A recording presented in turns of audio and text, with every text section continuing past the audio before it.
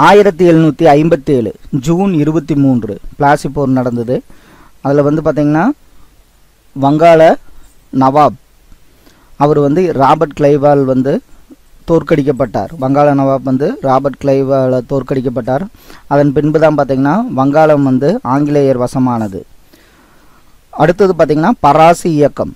இது யார் தோற்றுவித்தாங்கன்னு பார்த்திங்கன்னா ஹாஜி சிரியத்துல்லா அப்படிங்கிறவர் தான் பராசி இயக்கத்தை தோற்றுவிச்சார். இவர் வந்து இவரோட மகன் டூடு மியான் வந்து க- சிரியத்துல்லாவுக்கு பின்பு பொறுப்பேற்றுட்டு வந்தார். இவர் வந்து பார்த்திங்கன்னா வரி செலுத்த வேண்டாம்.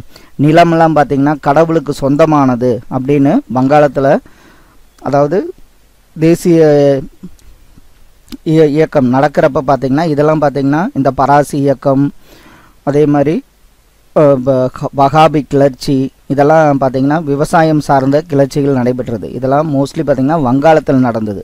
இப்போ பராசி இயக்கம் யாரால் தோற்றுவிக்கப்பட்டதுன்னா ஹாஜ் ஹாஜி சிரேயத்துல்லா. அவர் இறந்த பின்பு அவரோட மகன் டூடு மியான் பொறுப்பு வகிச்சார். இவர் வந்து என்ன சொல்கிறாருன்னா வரியெல்லாம் யாருக்கு செலுத்த வேண்டாம். நிலங்கிறது கடவுளுக்கு சொந்தமானது என்றவர் டூடு மியான் ஆவார். அடுத்தது பார்த்தீங்கன்னா ஆயிரத்தி எட்நூற்றி எழுபதில் நோவா மியான் என்பவரால் வந்து பார்த்தீங்கன்னா பராசி இயக்கம் வந்து மீண்டும் உயிர் பெற்றது. பரசத்தில் வகாபி கிளர்ச்சி. பரசத்துங்கிற இடத்துல வகாபி கிளர்ச்சி. இதுக்கு வந்து பொறுப்பு யார் எடுத்துக்கிட்டாங்கன்னா டூடு மீருங்கிறதான் பொறுப்பு. இவரும் வந்து பார்த்திங்கன்னா வேளாண்மை அதாவது விவசாய ரிலேட்டடாக தான் இந்த வகாபி கிளர்ச்சியெல்லாம் நடைபெற்றது. ஆயிரத்தி எட்நூற்றி முப்பத்தி ஒன்று நவம்பர் ஆறில் புர்னியா நகரில் டூடு மீர் வந்து கொல்லப்பட்டார். அடுத்தது பார்த்திங்கன்னா பழங்குடியினர் சார்ந்த கிளர்ச்சிகள் என்னென்னுங்கிறத பார்க்கலாம். கோல் கிளர்ச்சி. இது வந்து ஒரு பழங்குடியினர் கிளர்ச்சி. நடைபெற்ற ஆண்டு பார்த்திங்கன்னா ஆயிரத்தி எட்நூற்றி முப்பத்தி ஒன்று மற்றும் முப்பத்தி இரண்டாம் ஆண்டில். இதில் வந்து பார்த்திங்கன்னா ஜார்க்கண்ட் ஒடிசா. ஜார்க்கண்டில் சோட்டா நாக்பூர் ஒடிசாவில் சிங்பூம் போன்ற பகுதிகளில் பழங்குடியினர் கிளர்ச்சி ஏற்பட்டது. பழங்குடியினர் கிளர்ச்சி எதனால பார்த்தீங்கன்னா இவங்க ஆங்கில அரசு வந்து வன கொள்கையை ஒன்று கொண்டு வர்றாங்க. அதனால் வந்து அந்த சில இடத்துல இருந்த பழங்குடியினர்களை வெளியேற சொல்கிறாங்க அதனால வந்து பழங்குடியினர் கிளர்ச்சி தோன்றியது. சாந்தலர்கள். இதுவங்க வந்து பார்த்திங்கன்னா இந்தியாவின் கிழக்கு பகுதியில் இருந்த சாந்தலர்கள்.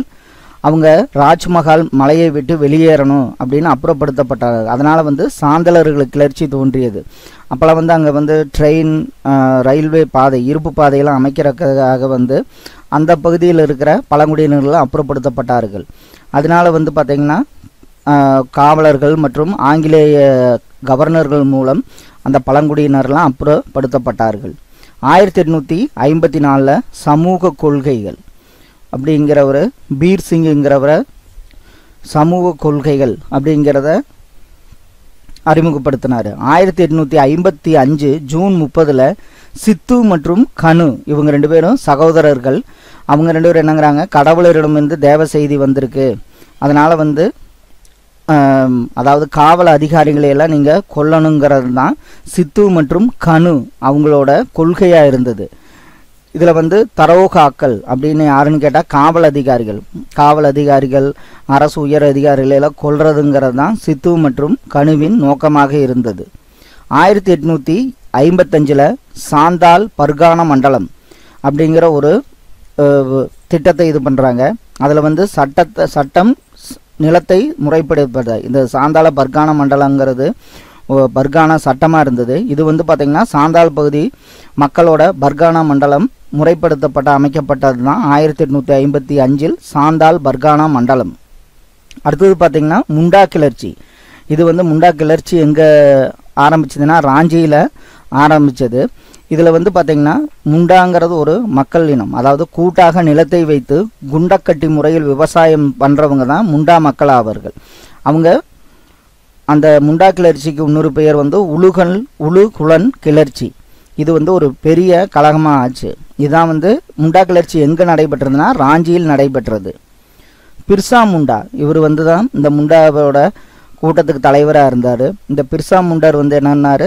நான் தம்மை கடவுளின் தூதராக அவர் அறிவித்து கொண்டார். ஆயிரத்தி எட்நூற்றி எண்பத்தி ஒன்பதாம் ஆண்டு பிர்சா முண்டல் அதாவது மற்ற ஆங்கில சிப்பாய்கள் அவங்க மேல எல்லாம் தாக்குதல் நடத்தினார். ஆயிரத்தி தொள்ளாயிரத்தில் பார்த்தீங்கன்னா பிர்சா முண்டா கைது அவர் வந்து சிறையிலேயே உயர் உயிர் நீத்தார். அதுக்கு பின்னாடி பார்த்தீங்கன்னா இது தப்பு. ஆயிரத்தி எட்நூற்றி தொண்ணூறு ஆயிரத்தி தொள்ளாயிரம்னு போட்டிருக்கேன். ஆயிரத்தி எட்நூற்றி தொண்ணூறில் பிர்சா முண்டா கைது சிறையில் உயிர் நீத்தார். ஆயிரத்தி எட்நூற்றி ஐம்பத்தேழில் பெருங்கழகம் இதே நம்மளுக்கே தெரியும். இந்திய சுதந்திர போரில் முதல் கழகம்ங்கிறது தான் ஆயிரத்தி எட்நூற்றி ஐம்பத்தி ஏழாம் ஆண்டு. அடுத்து பார்த்தீங்கன்னா கடைசி பேசுவா மன்னர் யாருன்னு கேட்டால் இரண்டாவது பாஜிரா தான் கடைசி பேசுவா மன்னர் ஆவார். இவர் வந்து நானா சா வளர்ப்பு மகன் இவரோட வளர்ப்பு மகன் யாருன்னா நானா சாஹிப் தான் இரண்டாவது பாஜிராவின் வளர்ப்பு மகன் ஆவார். வாரிசு இழப்பு கொள்கை மூலம் யாருக்கு குழந்தையை தத்தெடுக்க ஆங்கில அரசு அனுமதிக்கவில்லை? இப்போ வாரிசு இழப்பு கொள்கைன்னா ஒரு அரசருக்கு குழந்தை இல்லைன்னா அந்த அவருக்கு வந்து அடுத்த தடவை அவர் அரசாட்சி பண்ண முடியாது. அதனால் வாரிசு இழப்பு கொள்கை மூலம் ஜான்சி ராணிக்கு தான் குழந்தையை தத்தெடுக்க ஆங்கில அரசு அனுமதிக்கவில்லை. ஆயிரத்தி எட்நூற்றி ஐம்பத்தி எட்டாம் ஆண்டு இந்தியாவிலிருந்து இந்தியாவில் இருந்த லண்டன் டைம்ஸ் பத்திரிகை செய்தியாளர் வந்து வில்லியம் ஹோவர்ட் ரசல் அப்படிங்கிறவர் என்ன எழுதியிருக்காருன்னு பார்த்தீங்கன்னா கர்னலின் அதாவது ஜெனரல் கர்னல் பல அவர் வந்து பல இந்தியர்களை கொன்று குவிப்பு. அவர் செல்ற வழியில் பார்த்தீங்கன்னா எல்லா மரத்துலேயும் வந்து இந்தியர்களை எல்லாம் கொன்று அப்படி தூக்கில் மாட்டியிருக்காங்க. அப்போ ஆயிரத்தி எட்நூற்றி ஐம்பத்தி எட்டில் இந்தியாவில் இருந்த லண்டன் டைம்ஸ் பத்திரிகையாளர் யாருன்னு கேட்டால் வில்லியம் ஹோவர்ட் ரசல் என்பவர் ஆவார் டெல்லியில் கைது செய்யப்பட்ட பகதூர் ஷா எந்த நாட்டிற்கு கொண்டு செல்லப்பட்டார்?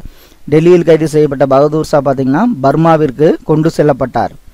இண்டிகோ கிளர்ச்சி இண்டிகோ கிளர்ச்சின்னா இப்போ நம்ம கருநீல சாயம்னு சொல்கிறோம் இப்போ ஆயிரத்தி தொள்ளாயிரம் வரைக்கும் பார்த்தீங்கன்னா அந்த செயற்கை முறையிலான சாயங்கள்லாம் கிடையாது. இண்டிகோ செடி அந்த அந்த செடி வளர்த்து தான் கருநீல சாயம் உற்பத்தி பண்ணாங்க. அப்போ வந்து ஆங்கிலேயர்கள் என்ன பண்ணுறாங்க நம்ம விவசாயிகள்லாம் மோஸ்ட்லி இந்த கருநீல சாய செடியை தான் விவசாயம் பண்ண சொன்னாங்க. அந்த இண்டிகோ கிளர்ச்சி எங்கு தோன்றியதுன்னு பார்த்தீங்கன்னா வங்காளத்தில் நடியாங்கிற இடத்துல தான் இண்டிகோ கிளர்ச்சி தோன்றியது ஆயிரத்தி எட்நூற்றி ஐம்பத்தி ஒன்பதாம் ஆண்டு. நீல் தர்பன் அப்படிங்கிற ஒரு அதாவது அதுக்கு மீனிங் பார்த்தீங்கன்னா இண்டிகோவின் கண்ணாடி. நீல் தர்பன்கிறது ஒரு நாடகம். இதை யார் எழுதுனதுன்னு பார்த்தீங்கன்னா தீனபந்து மித்ரா என்பவர் தான் நீல் தர்பன் அதாவது இண்டிகோவின் கண்ணாடி என்ற நாடகத்தை எழுதியவர் ஆவார் தக்கான கலவரங்கள். தக்கான கலவரங்கள் எதில் ஆயிரத்தி எட்நூற்றி எழுபத்தி ஐந்தாம் ஆண்டு உருவானது. இது வந்து பார்த்திங்கன்னா வட்டிக்கு பணம் கொடுப்போருக்கு எதிராக உருவானது தான் தக்கான கலவரங்கள் ஆகும். இப்போ நம்ம சென்னை மகாசன சபை மாதிரி பம்பாய் மகா ச மகா பம்பாய் மாகாண சங்கம் எப்போ உருவாக்கப்பட்டதுன்னா ஆயிரத்தி எட்நூற்றி எண்பத்தி ஐந்தாம் ஆண்டு. காலனி ஆட்சியில் பொருளாதாரம் பற்றி விமர்சனம் செய்தவர்கள் யாவர்?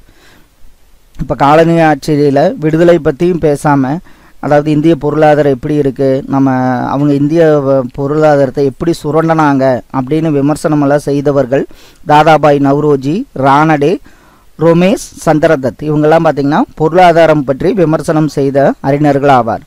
இந்திய தேசிய காங்கிரஸ் முதல் அமர்வு எப்போ நடந்ததுன்னா டிசம்பர் இருபத்தெட்டு ஆயிரத்தி எட்நூற்றி எண்பத்தி ஐந்தாம் ஆண்டு நடைபெற்றது. ஆயிரத்தி எட்நூற்றி தொண்ணூத்தொம்பதில் இந்தியாவின் அரச பிரதிநிதியா யார் இருந்தாங்கன்னா கர்சன் பிரபு அவர்கள். இவர் என்ன பண்ணுறாரு ஆயிரத்தி தொள்ளாயிரத்தி அஞ்சு ஜூலை பத்தொம்பது வங்க பிரிவினையை அறிவிச்சிருக்காரு.